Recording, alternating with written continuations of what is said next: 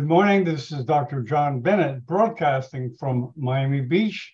It's here in the morning, it's evening in India uh, of Neurosurgical TV. We have the 12th in a series of 12 webcasts of neuroendoscopy done by Dr. Yadav. And let me quickly show everyone and the link. We have all 12 webcasts on one page, so you can pick your uh, the topic that you may be weak in or, or whatever. Uh, so that link is in on Neurosurgical TV and on this webcast. And let me introduce the moderator, Narayan Swami. He's a professor at the NSCB Medical College in Jabalpur, India, the same institution as Dr. Yadav. Welcome, Dr. Swami. Yeah, good evening. Good evening in this part of the world, and welcome everybody, very every delegate. Uh, we come to the last session of uh, the endoscopic lectures hosted by Professor Yadav. As you all know, Professor Yadav is president of NSI and then a teacher who has taught more than 800 students, and then his accolades are so much that he has conducted live workshops and webinars, and he has taught almost all children. He also also conducting two fellowships in his own college to train them so, you know, and, uh, by doing a live surgery, he has authored many books, and one of some of the articles have been having citation of more than 10,000. A man of a great achievement. So, not say more. And I also welcome other panelists, Professor Dandapani, who is an enthusiastic endoscopic neurosurgeon as well as a fine spinal surgeon uh, in uh, one of the premier institute, PGI Chandigarh. And welcome, Dr. Dandapani. And Dr. Shailendra Ratre, welcome to you. He's uh, assisting Professor Yadav and then very accomplished endoscopic neurosurgeon. And then he's ready to do almost everything. And we also have Dr. Jitin, who is an endoscopic neurosurgeon as well as an epilepsy neurosurgeon. He also has done, you know, I must mention here that he has done endoscopic hemispherectomy to control the spread of epilepsy. And he's got great accolades. And you can see him on all webinars over there, very enthusiastic person. I'll not waste much of the time. I'll hand over the mic to Professor Yadav, sir. Thank you, uh, Professor Swami. Thank you, uh, uh, Professor John Bennett. And I also thank all uh, the panelists and all the viewers uh, uh, for joining this webinar. today, I'll be talking on endoscopic management of intradural extramedullary spinal tumors. Uh, regarding the open versus um, the endoscopic approach, what is different? Um, uh, although there is an open approach or microscopic approach for uh, the sp uh, intradural spine, uh, intradural extramedullary tumor, uh, but there's a more risk of post-operative spinal uh, instability and deformity in the long-term follow-up. And this is because uh, uh we usually go for bilateral muscle stripping. There's extensive laminectomy on uh, both sides. And at least on one side, there is a partial facetectomy. Uh, on the other hand, uh, endoscopy is a minimally invasive uh, technique. There is no or uh, less risk of post-operative unstable uh, instability. Um, and this is because there is only limited unilateral muscle stripping, um, uh, only unilateral laminectomy done, but you can go for bilateral decompression and the tumor in the, the large tumor can be removed using unilateral approach. There is no injury uh, of the opposite uh, facet joint. So the opposite facet, the opposite lamina, the opposite side contralateral uh, muscles stripping is not required. So it's less invasive. There is um, in open technique uh, because there is more trauma, so more pain. Uh, whereas in endoscopy, there is less pain the chances of neurological deterioration is also less in endoscopic surgery. The CSF leak is also less, increased uh, uh, more uh, risk of CSF leak in open compared to endoscopy, um, where there is a less chance. The reason is because there is a, a less dead space available in endoscopic surgery. The wound infection again more in open. The reason again is more dead space. And there is a difficulty in visualization of the opposite side if you if you uh, take the unilateral course. Whereas in endoscopic uh, technique, it provides panoramic view uh, because of the angle uh, visualization. So better visualization of the opposite side. Um, uh, indications of uh, intradural extramedullary tumors. the endoscopic surgery is usually tumor if it is uh, five centimeter or less, that means uh, two uh, spinal level, vertebral level, usually. But if there, if the attachment is at one point from the root, and if you can identify even the large lesion also can be operated.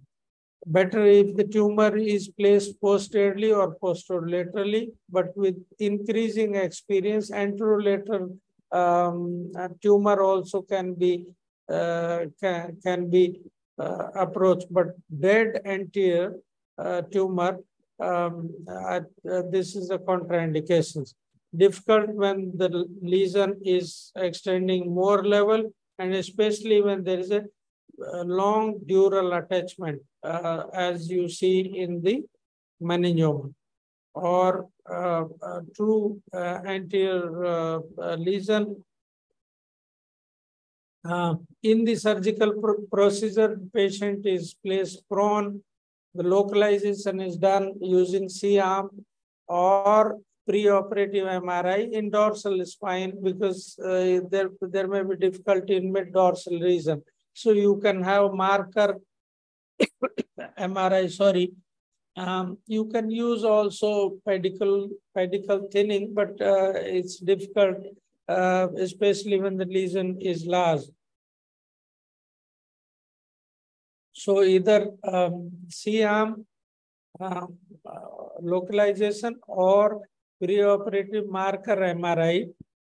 The approach is from the side of pathology um, usually one side symptoms are more, the lesions are, uh, lesion is more on one side. So you approach from the side where um, the lesion is, uh, uh, I mean, originating. The skin incision depends upon the size of the tumor.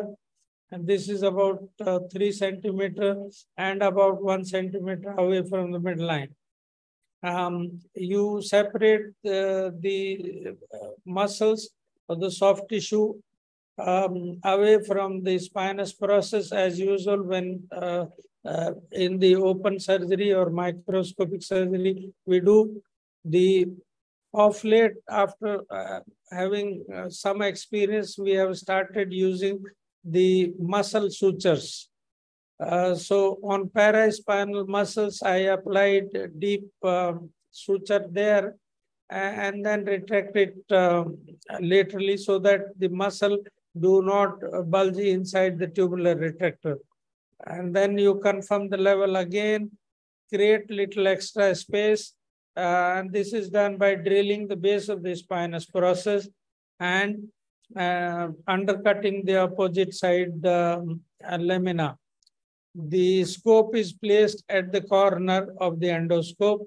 Uh, I use um, this tubular retractor system EasyGo by the Karl Storz in which the, uh, the, the endoscope is placed at the corner and in uh, other tubular retractor also um, there is a provision to station the scope um, at the corner so that you get more uh, space to work.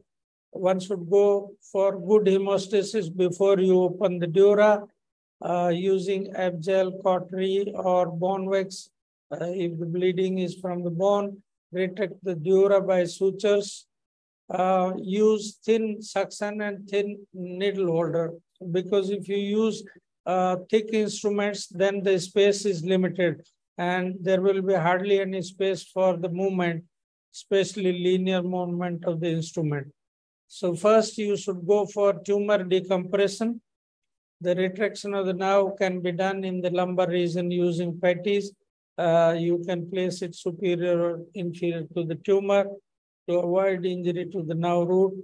Um, if there is a large lesion, and then uh, uh, I was also using the same technique, but uh, Professor Dandapani has um, named the sliding uh, delivery technique, which is excellent. So if the lesion is cranially placed, then you slide it uh, uh, towards the operative area.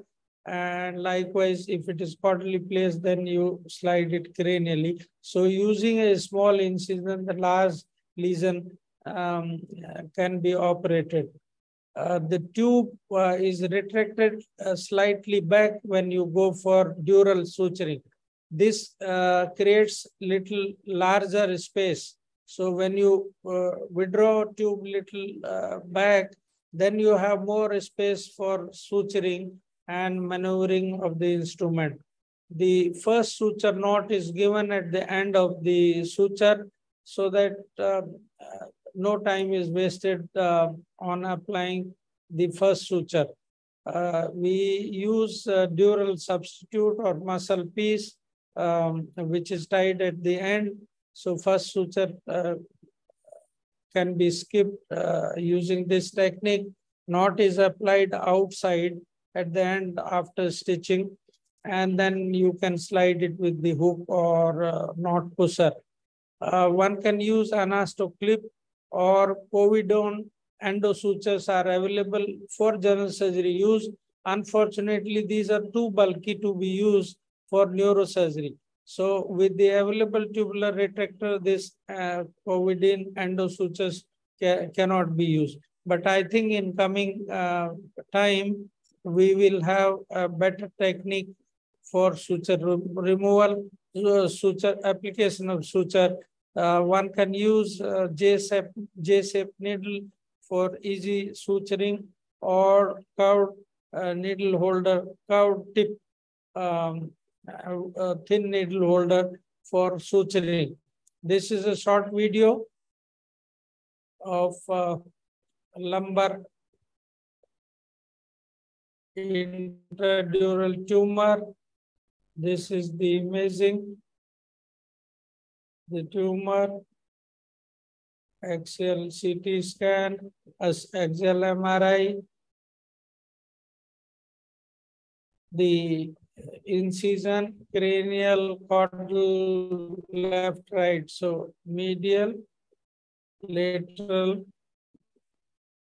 and cranial caudal. So this is the lamina. L4-5 lamina is drilled and after sort of axial drilling, you take out the bone. This is the spinous process. So this is also the base of the spinous process is also undercut and a little bit of opposite side lamina can also be removed. So this is the dural uh, incision. And after that, the incision is enlarged.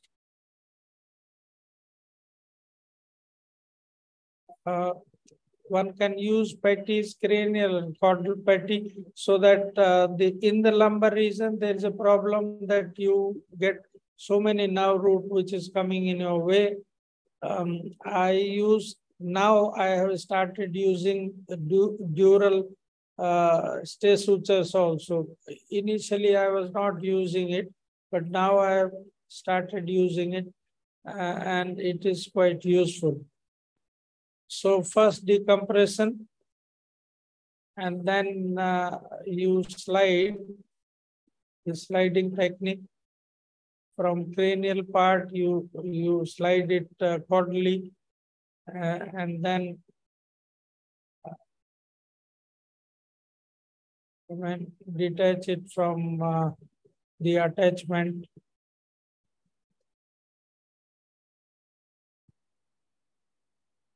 So this is the tumor being removed after decompression, the usual bipolar forceps being used. And after the tumor removal, um, you can see that uh, uh, there is only a rotational movement because there is hardly any space available. So you need to rotate and the first suture uh, is of the dura patch.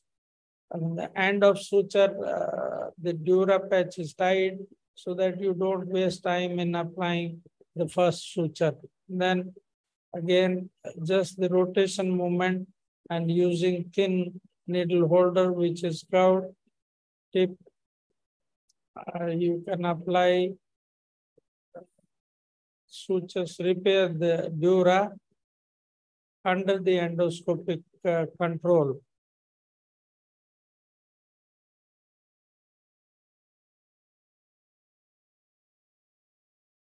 So tight dural suturing.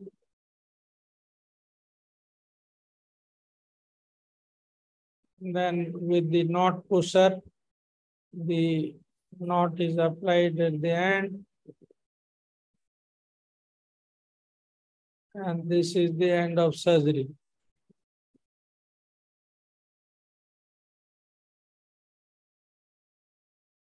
Uh, so this we have already discussed that the alignment of the needle with the needle holder should be such that the tip of the needle is at the deeper plane. See, if you hold uh, the needle uh, like this, then maybe your needle holder will strike the dura uh, before the tip uh, pierces the dura. So you should hold it in such a way that the tip is at a deeper plane. So it, it will pierce the dura before um, when uh, the tip of the needle or use J-shaped needle, uh, which is available uh, Johnson and Johnson. Uh, they have J-shaped needle also, but it can be done with the usual uh, needle uh, because at times it is out of the stock and uh, is not available. Um, the rotation technique should be used because there is hardly any space available there. So you cannot have linear movement. So uh, uh, bring the needle uh, with the side of the dural incision and then just rotate it. And using this technique, you can very easily go for suturing of the dura. This is another cervical spine. This, that was lumbar spine intradural extramedullary tumor. This is cervical spine uh, tumor. So tumors of all locations uh, can be operated. Again, um, ipsilateral uh, lamina drilling until you find uh, small little, I mean, very thin uh, bone is left, uh, which is removed with the fine Kerrison punch.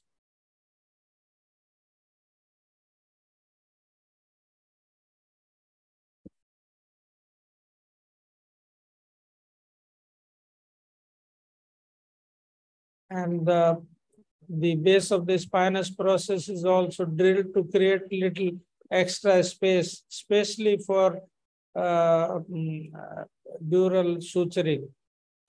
That is useful for suturing. Otherwise, uh, it may not be required. So dural incision, enlargement of the incision,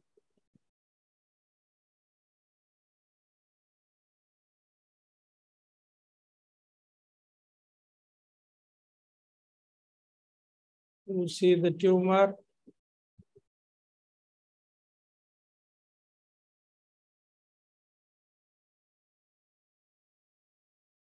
Now I have started using uh, the stay sutures to retract the dura. Initially, I was just uh, doing without this, but I think it's quicker and uh, so initial decompression of the tumor so that you don't uh, damage the compressed cord. And once you have done sufficient uh, decompression, then you can roll it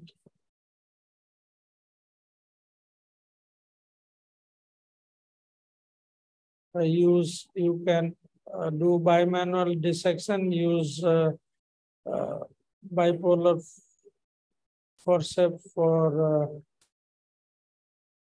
and this is the attachment the, from the root. And again, uh, dural suturing.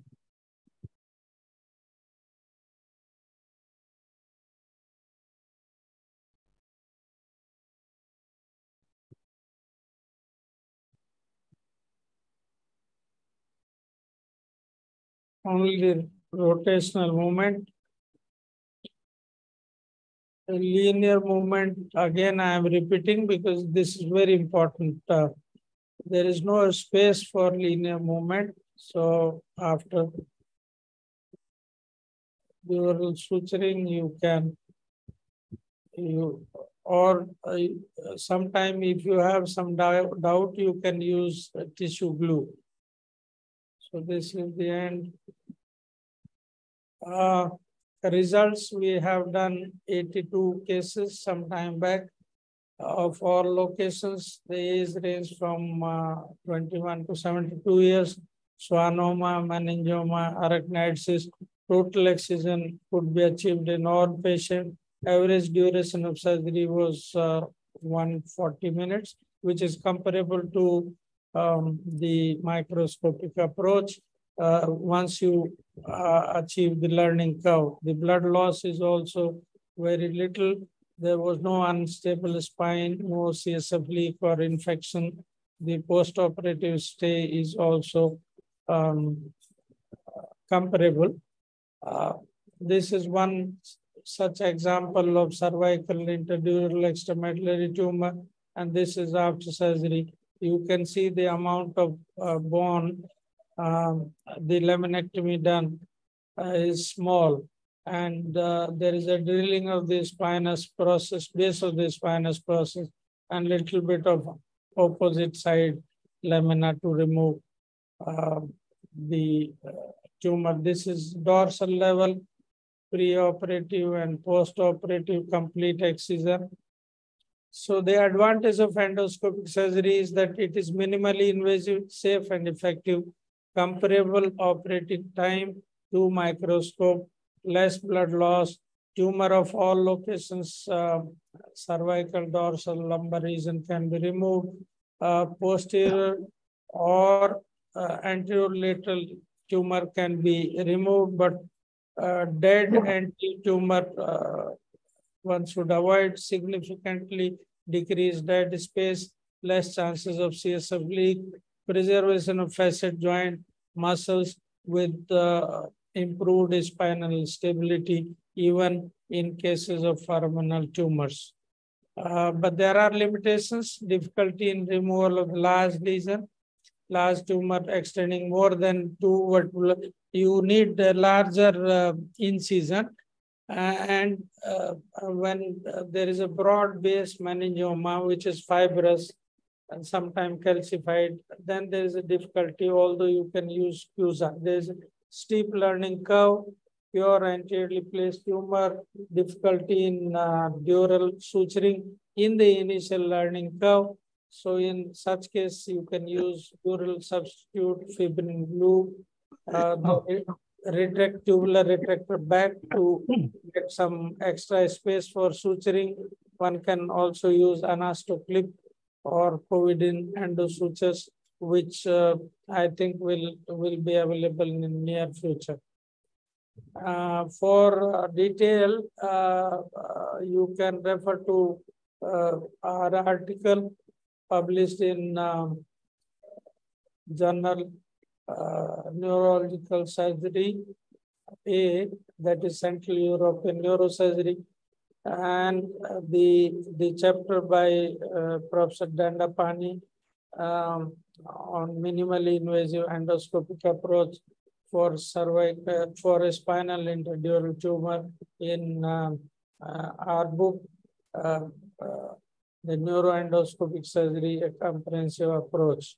To conclude, endoscopic removal of selected intradural extramedullary tumor is effective alternative to microsurgery with advantage of minimal invasive technique. There's less blood loss, tumor of all locations can be removed and uh, significantly decreased dead space, decreased chances of CSF leak, infection with preservation of facet joint and muscles, at least of the opposite side, and thereby improving the spinal stability. Uh, but there is a downside of it. There's a learning curve, especially uh, in the dural suturing, which can be overcome by the practice. And uh, uh you can have difficulty in meningioma, especially the, the long uh, dural attachment, fibrous and calcified, and pure anteriorly placed tumor. So in future, I think we'll have better, better techniques and better instruments.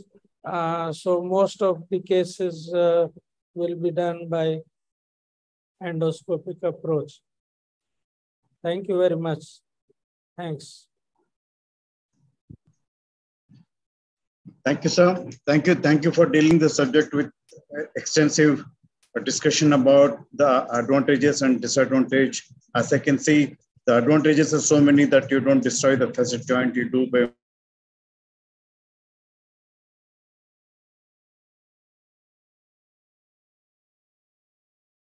network issues. Sir. I think your uh, yeah his connection. Yeah, so, he'll he'll come back. Do you want to continue uh, moderating someone? Sir, uh, if you permit, sir, I'll invite uh, Professor Dandapani sir to give his comments. Uh, so thank you for the wonderful lecture and beautiful videos. Uh, you have been a pioneer in endoscopy in most of the neurosurgical areas. So um, kind of it is really inspiring to look at uh, how you have uh, utilized simple uh, tools to overcome challenges rather than relying on complex uh, systems. So what would be your advice to young neurosurgeons when they want to have one system for doing wide variety of endoscopic spine surgeries? So which system would you recommend? Uh, difficult thing, but I think uh, any tubular retractor is better compared to uh, the prefixed. Like, for hmm. example, I, I don't want to discuss this, but uh, Destandau versus E-Z-GO, they have uh, any system which has unnecessary occupied the space and there is a limitation in bimanual dissection. So any tube which has lot of space is good enough, whether it is of any company, but uh, predetermined channel uh, this is for uh, working channel, this is for that. So that I don't like because for advanced surgery and especially for these kind of tumor and for AED where you want to put in a screw, uh, these uh, predetermined channel um, are not so good. And you are right that uh, uh, for young neurosurgeon, it is very difficult to purchase each and everything for one procedure, you purchase one thing. For another, you purchase another thing. So by one single simple thing, uh, any tubular retractor is good enough, uh, which should have facilities to station endoscope at the corner. So I think many of these uh, systems are available. So do you use the holder or do, uh, does the assistant hold the endoscope in your uh, in your surgeries? No, but then yeah, I don't uh, the system which I use uh, has a option that uh, the, endoscope can be placed at the corner of the tubular retractor. So I use to, uh, the E-Z-GO system in which there is a provision, inbuilt provision that the endoscope is stationed at the corner. Yeah, but if you don't have, then you can have a tubular retractor but that uh, you require two holder, one to hold the tube and one to hold the telescope. Or you can ask uh, your assistant to hold the scope for you. Yes, that also can be done. And you use, uh, uh, like in the E-Z-GO system, it is the angled uh, endoscopes which is fixed onto the system. But when you have your own customized version, when you have tubular retractors and you can use a wide variety of endoscopes, 0, 30, 45, like depending upon the need. We have noted that the more anterior the tumor is, then you can do a wide lateral entry. Then you can use angled endoscopes in comparison to the posterior tumors in which uh, the zero degree endoscopes are good enough. You want? Do you want to comment on that, sir? Yes, uh, excellent uh, question. So what uh, you can do, uh, I agree. Um, I had uh, only zero degree endoscope in the beginning when I started for quite long period. Uh, so I angulate the endoscope to make it angled endoscope. So same way you angulate your tubular retractor along with your endoscope. So if you angulate zero degree tubular retractor or endoscope to 10 degree or 20 degree, it will become 20 degree endoscope. Yeah, but if you have more, more, uh, more variety, you are right. It's good. Yeah. Uh, so I request my other co-panelists to comment and ask uh, uh, Professor Yadav sir any question. Ratri sir, please. Uh, good evening, sir. Very nice presentation, sir. Uh, sir, one thing I uh, want to ask uh, that the, this suturing technique is a little difficult. So, is there any option to either left this the dura open by reinforcing with glue or fat in initial cases?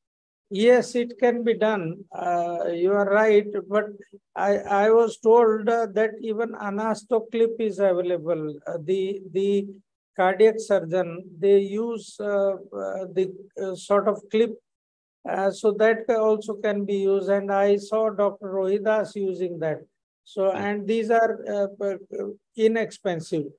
If you have problem, if you are you don't have access to all these things there are places we must agree we, we should uh, mm, appreciate this. I mean not all places are so uh, i mean uh, they don't have facilities of all these things. So in that case because the dead space is less uh, you can just leave it like that keep the um, uh, dural substitute there and put in some glue so this also will work. Yes, sir. And plus some delayed suture removal. Or if something happens, then you can put in um, lumbar drain for some time. Uh, but we have not come across any CSF leak uh, because the dead space is very little. You can just put in some muscle over the dura uh, and uh, I mean, um, the dead space should be obliterated. So can I comment on this aspect, uh, if you permit? Yeah, yeah. Uh, so regarding the uh, dural closure, we had noticed that in cervical and lumbar, where you have a good uh, muscle bulk and uh, the depth of surgery is quite much. So even if you don't close the dura, it is okay because there is the muscles fall back and they seal it nicely. But in the dorsal area, in lean patients, the depth of surgery is very shallow. So there is not much soft tissue. Directly, you are close to the dura. So in such cases, we have noticed that it is better and it is easier also to close the dura. And we should close the dura because there is not much soft tissue to seal it. So uh, do you want to uh, add to this? Yes, you are absolutely right. And plus, if you don't uh, find uh, comfortable enough with this, I think um, uh, using those uh, hemilaminectomy retractor or something and use microscope. So with that also, with the same incision, you can close the dura. So in initial part of your learning curve, if you find problem in uh, suturing dura, and then you can do uh, what Professor Dandapani has said, and it is essential in the dorsal region to repair. And in most cases, I think it is better to repair. It is possible. Thank you, sir. Sir, uh, I have a question, sir. Uh, do you have a difference in strategies for selecting uh, cervical dorsal and lumbar tumors, particularly from patient selection to amount of bone drilling to movement of dissectors? Please tell, sir. Yeah, uh, I no special uh, strategy for uh, cervical or dorsal or this thing. The only thing which is different is that in uh, cranial part uh, for a right-handed person, the cranial portion dura um, suturing, um, you need little more space. Uh, if the dural um, incision goes right up to the lamina cranially, I find difficult uh, difficulty in closing. So I remove a little more lamina on cranial side. This is uh, the, and that applies in all cases, whether it is dorsal or uh, cervical or this thing. Uh, the other uh, difference in cervical and dorsal or lumbar is that I use patties in uh, um, lumbar region because there we have a lot of uh, roots coming out. Uh, once you once you um, make a, a, dural opening, uh, so uh, uh, to avoid injury by the suction um, on uh, to the root, um, it is better to put in some patties, cranial caudal, but no pressure. Space. I avoid putting in patties in dorsal and cervical region, but in lumbar, yes.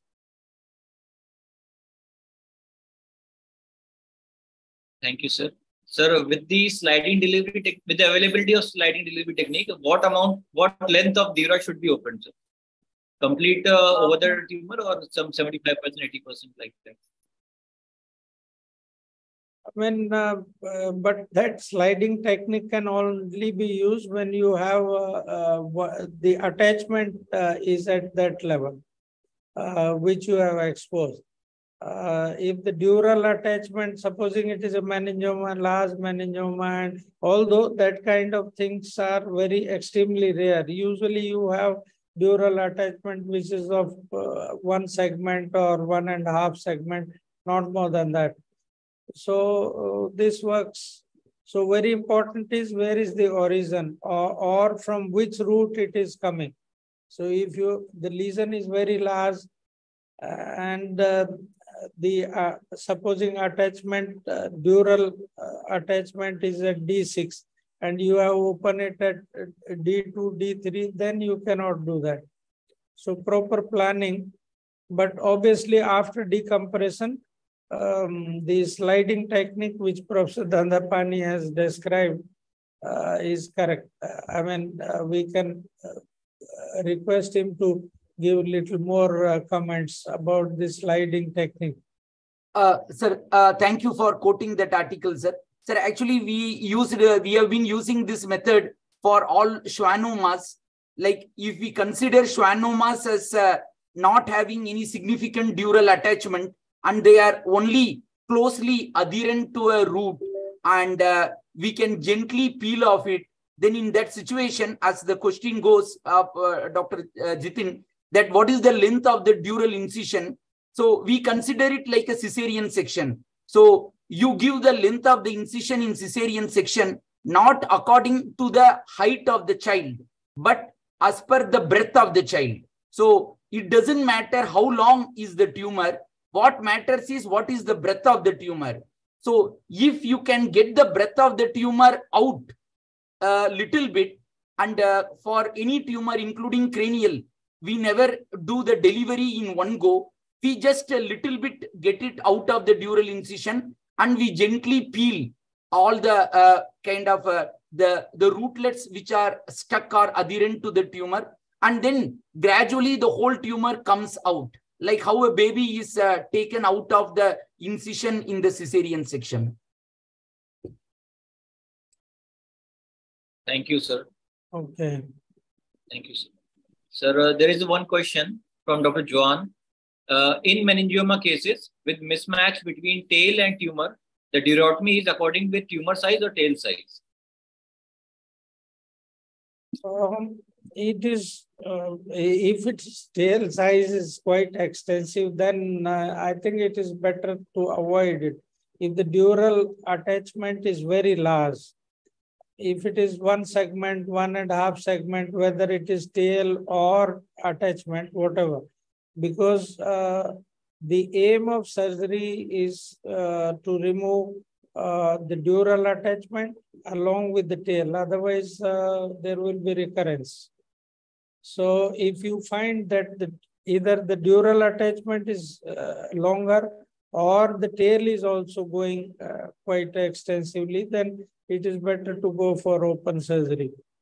So you have to consider both of them, attachment and tail both are important. Thank you, sir. Another question, sir. What is the best way to practice endoscopic suturing? Uh, uh, suture, uh, I mean, practice on model. Dr. Jitin has, um, uh, I mean, described the uh, indigenous inexpensive model. And there are other models also. So those models do not cost anything. So you practice on model and uh, this is how everything has a learning curve. So with gradually practicing things, uh, things become uh, when simple and uh, possible. So there is a learning curve. Uh, things are not as simple as uh, that. You you have a learning curve in microscopic surgery also. Uh, for any technique, you have to be, I mean, genuinely interested in that and uh, you have to spend quite a lot of time in learning that technique. Thank you, sir. We have Professor Kodishwaran, sir. Professor yes. Kodishwaran. Good evening. Good evening, sir. Good evening, Yadav, sir. Dandapani, sir. Jitin, John. Actually, it was a wonderful lecture, sir. So I have two, three questions, sir. One, uh, for, uh, example, if you have, uh, because in this case we are operating in a small space, what is the risk of uh, post-operative hematoma, sir, in higher levels? Number one. Number two, if there is a missing level of tumor, most of the time, if you open at one level, the tumor sometimes migrate to higher levels. Then how will you proceed, sir?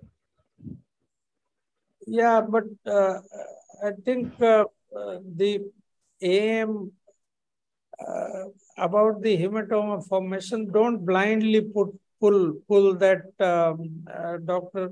Dandapani uh, have uh, been given the name, but all of us have been using uh, uh, the sort of sliding technique. If there's a, a lesion cranial caudal, then we try to move it to the center where we are operating. But in the process, we have to be I mean, careful that any resistance which is coming, um, if there is a dural attachment coming from cranial side, and if you find some resistance, then you have to extend your dural incision. So if by sliding uh, gently it is coming without uh, resistance, then it is fine. But if you have uh, some resistance, then don't try to pull it and uh, cause uh, tear and hemorrhage. Then it will be difficult to control. Usually, this does not happen in um, uh, in uh, neurofibroma, well selected incision from the attachment. But for for meningioma, yes, you have to be careful so hematoma, don't pull it blindly. Uh, gently try to uh, deliver it towards uh, the working area. Uh, and uh, go for proper hemostasis before you remove the, that upper or lower uh, pole. Uh, sir, can I add to this? Other question? Yeah. Yeah, please, please. Uh, sir, uh, Sir, for beginners, I would like to um, kind of suggest that uh, the understanding of the plane of the tumor is very important. Like the most of the schwannomas are extra-arachnoidal and all meningiomas are also extra-arachnoidal. So whenever we get into the, uh, the tumor area, we will have to get into the correct plane. We should never be in the subarachnoid space because most of the vessels are in the subarachnoid space. So if you remain in the extra arachnoidal plane, you are unlikely to damage any vessels because the vessels are there extradural and the vessels are there in the subarachnoid space. So remain outside the arachnoid and between the tumor capsule and the arachnoid. Then in that case, the dissection is likely to be smooth, both in meningiomas as well as in schwannomas. So we have noticed that um, this has been very helpful, not only in uh, uh, spinal tumors, but including in the uh, endoscopic surgeries in brain tumors also. So most of the benign tumors, they respect the plane. The, the arachnoid plane is always respected. Yeah, of course, there are invasive tumors, metastasis and such things. In those scenarios, you have to be more careful.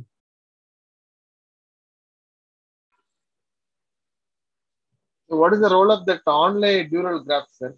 Recently, there are neural grafts which can be placed only without suturing. Yeah, there is onlay and inlay both. So um, this can be done. Inlay is usually little better compared to onlay. But for CSF rhinorrhea, the study shows that there is hardly any difference if you put inlay or uh, onlay. But I think if you are using uh, graft only, it is better that uh, you use inlay.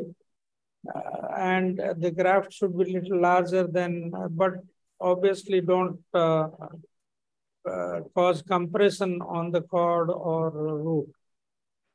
But you can put it onlay also or both uh, inlay and onlay and then glue. Multi-layer closure also can be done. Thank you, sir. Thank but. I tried, I insist, insisted on dural suturing, although it took me a long time um, uh, to initially do it. But uh, once you do it, then uh, there is no problem. I mean, once you learn it, then uh, it doesn't take more time. Thank you, sir. Sir, uh, this question from Dr. Deepak. Uh, where could we find uh, the models for endoscopic suturing? We have to get training somewhere or we can purchase it. So we can just tell us briefly about it. Sir. Yeah, you tell uh, you have this uh, model. Thank you. Uh, how to make it? Yeah, please. sir. I mean, it's your idea, sir. Uh, one can just uh, paste or pin a suture over the glove and then can uh, make an incision over it. And then uh, over that with glove, uh, one can put a clay-shaped model over that. The height can be around 9 to 10 centimeter. And the width on the top of the model can be, opening can be around 3 centimeter. And then one can practice uh, uh, using the endoscope uh, suturing over it. So I have uh, sent him the reference also of the article. Another question is there, uh, which artificial dural substitute is better? Does it interfere with the repeat surgery? Which uh, artificial? Dural substitute is better and does it interfere with the repeat surgery? This may cause, yes, uh, fibrosis. We use um, uh, dural substitute uh, Durapatch by uh, what? Uh, that is um, Duragen. Duragen. And also uh, Surgiwear, you have a dural substitute also. Yeah, G-patch. So, but uh, I think all of them cause uh, some fibrosis. Yes. Model, I think I have that model uh, uh, figure, but I don't know where it is. So you can, you have given the reference of that model? that Yes, sir, article? yes, sir. And that And is the it's prelim because of- article. Mm. Yes. Okay. There are no more questions, sir. Um, Okay, can then, have concluding comments. yes. Concluding comments. So thank you very much uh, and thank all the panelists. And I thank uh, uh, John sir for giving this opportunity. Thank you everyone. Thank you Kodai. Th- Thank you uh, Dandapani, Jitin. And I think uh, Dr. Dr. Atre and uh, uh, Dr. Swami, uh, there must be some problem, maybe the issue of um, this, what internet problem. So thank you, everyone. So today we finished uh, quite early. Yeah, yeah. Thanks everybody for participating and especially Dr. Yadav And I want to uh, reiterate that this is all uh, in, in a, uh, uh, it's called a playlist. It's called a playlist in YouTube. It's in other words, it's all the videos. They're all separated every week from the last 12 weeks. And I left a link in the uh, chat as well as on the website of Neurosurgical TV. So you can watch each particular episode separately. If you have a weak part, you can concentrate on that. And we look forward to having other webinars with Dr. Yadav uh, under his direction uh, shortly, and we'll let everyone know. Thank you very much. Thank, Thank you. you. Thank you. Thank All you. right. Thank you. Thank you, Dr. John. Thank you, Dr. Yadav.